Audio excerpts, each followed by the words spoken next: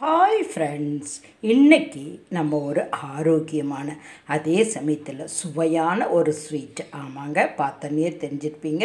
திராட்சை பழம் திராட்சை பழத்தில் அவ்வளோ ஒரு ஆரோக்கியம் சுவை சத்து இருக்குது. இதை வந்து அப்படியே சாப்பிட்றதா முறைப்படி நியாயம். அது அப்படியே எப்பவும் சாப்பிட முடியுதா இல்லையா? ஒரு ஆல்டர்னேட்டிவ் சேஞ்சாக நம்ம ஜூஸ் சாப்பிடுவோம். ஜூஸும் சில குழந்தைகள் இது வந்து இன்றைக்கி கிட்ஸ் ஸ்பெஷல் தான்.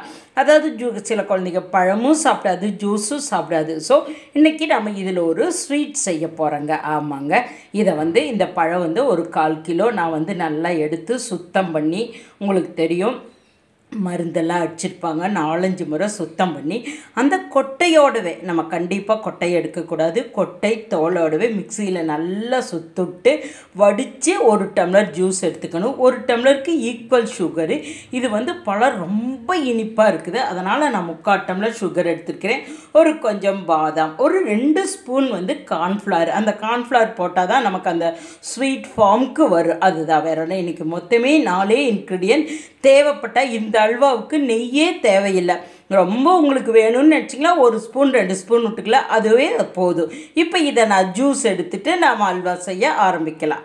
ஃப்ரெண்ட்ஸ் பார்த்தீங்களா? இது மாதிரி தாங்க. அதாவது நாம் நல்லா அரைச்சிடணும். அப்போ தான் வந்து அந்த கொட்டை தோல் எல்லாம் வந்து நல்லா அரைபடும் அந்த கொட்டையில் இருக்கிற சத்து நமக்கு வரணும். அதே போல் வடிக்கிறது கூட ரெண்டு தடவை வடிச்சுக்கலாம். ஃபஸ்ட்டு ஒரு தடவை வடிச்சிட்டு இன்னொருக்கா வடிச்சிங்கன்னா கொஞ்சம் லைட்டாக அந்த கொட்டை சின்னதெல்லாம் வரும். நம்ம எடுத்துடலாம். ஆனால் அரைக்கிறது நைஸாக அரைச்சிடணும். இவ்வளோ தாங்க ஒரு சிம்பிள் மூணே மூணு இன்க்ரீடியன்ட் திராட்சை சர்க்கரை கார்ன்ஃப்ளவர் இதே வந்து சர்க்கரை வேண்டான்னு நினைக்கிறவங்க குண்டு வெள்ளத்தில் பாவு காய்ச்சியும் செய்யலாம். அது கொஞ்சம் டேஸ்ட் வேறு மாதிரி இருக்கும் இப்போ இது நல்லா நம்ம வந்து இப்போ சுண்டுன பின்னால் கொஞ்சம் கொதிச்ச பின்னால் இப்போ நான் சர்க்கரையை போட்டு அது கெட்டியான பின்னால் உங்கள்கிட்ட காட்டுறேன்.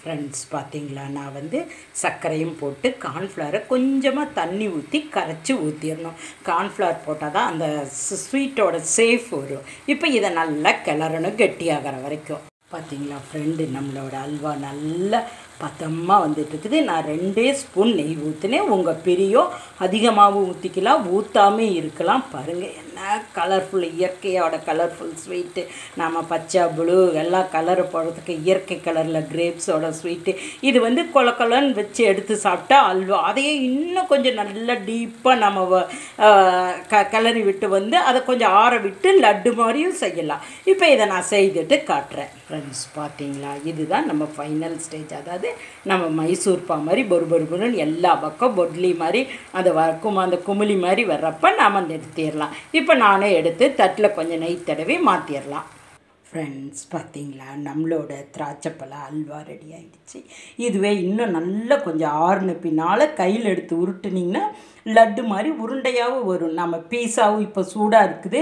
அது போட முடியல. நல்லா ஆறுன பின்னால் நம்ம கத்தி வச்சு சதுரமாக வெள்ளை வெள்ளையாகவும் போட்டுக்கலாம். இல்லை அதையே எடுத்து கையில் கொஞ்சம் உருட்டினோம்னா நமக்கு லட்டு மாதிரி வரும். திராட்சைப்பழ லட்டு ஆர் திராட்சைப்பழ ஹல்வா இல்லை எதுவும் போட வேண்டாம்னா நம்ம இதை அப்படியே ஒரு தட்டில் எடுத்து வச்சு கூட சாப்பிட்டுக்கலாம். நான் மேலே கொஞ்சம் நான் நட்ஸ் போட்டிருக்கிறேன் பாதாம் போட்டிருக்கிறேன் உள்ளேயும் போட்டிருக்கிறேன்.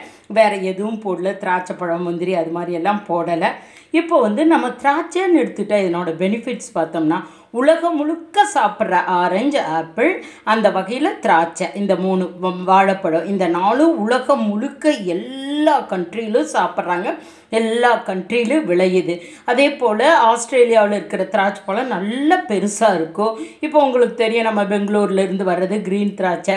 அது இனிப்பு புளிப்பு இருக்குது இதில் வந்து பொதுவாக வந்து ஒரு கருத்து என்னென்னா நம்ம தமிழ்நாடு விளையில விளையிற இந்த பன்னீர் திராட்சை ரொம்ப சிறந்தது அப்படின்னு சொல்கிறாங்க அது ஒரு இனிப்பு கதம் பதமாக இருக்கும்.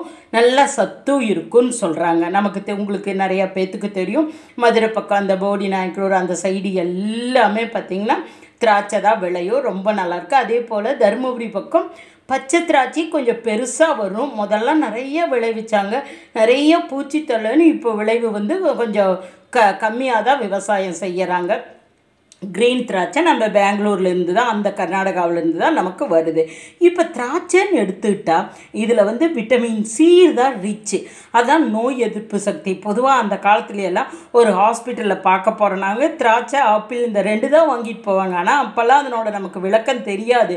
அவங்களுக்கு உடம்பு சரியாதவங்களுக்கு நல்லது அப்படிங்கிறதுக்காக அந்த ரெண்டை தான் வாங்கிட்டு போவாங்க. விட்டமின் சி வந்து நோய் எதிர்ப்பு சக்தி. அதே போல் இதில் வந்து ரெஸ்வெரட்ரால் அப்படிங்கிற ஒரு கெமிக்கல் இருக்குது.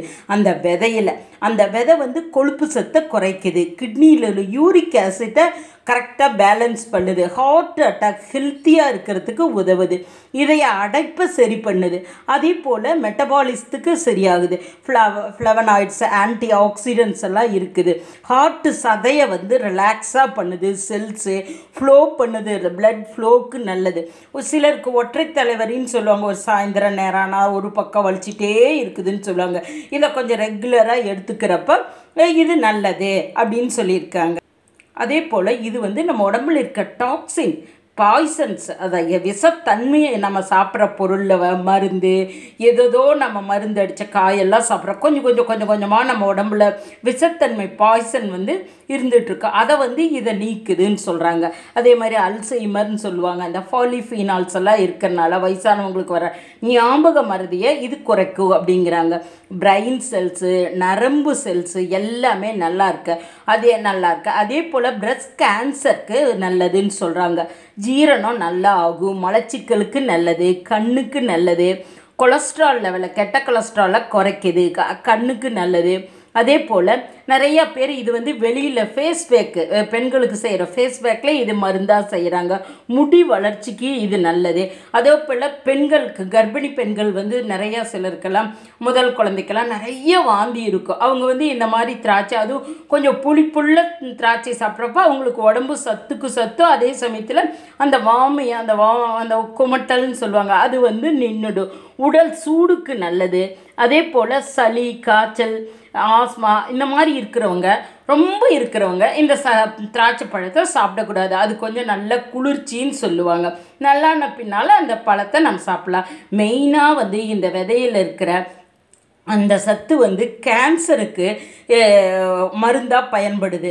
ரெஸ்வெரட்டால் அப்படின்னு ஒரு கெமிக்கல் அதாவது இந்த ஒரு கிலோ திராட்சை விதை ஆறாயிரம் ரூபாய்க்கு உலக சந்தையில் விற்குதுங்கிறாங்க அந்த அளவுக்கு அதில் வந்து வேல்யூ காஸ்ட்லி அதே சமயத்தில் கேன்சருக்கு மருந்து செய்கிறாங்கங்க அப்போ எவ்வளோ பாருங்கள் நம்ம அவ்வளோ கஷ்டப்பட்டு மருந்து நோய் வந்து கஷ்டப்பட்டு வந்து பழத்தை ஆரம்பத்துலேருந்தே குழந்தைகளுக்கு திராட்சை பழம் சாப்பிட பழக்கிடணும் பெரியவங்களும் கொஞ்சம் ச டயபெட்டிஸ் இருக்கிறவங்க அது அதிகமாக எடுத்துக்காமல் கொஞ்சமாக சாப்பிட்டுக்கலாம். நிறையா எடுத்துக்காத.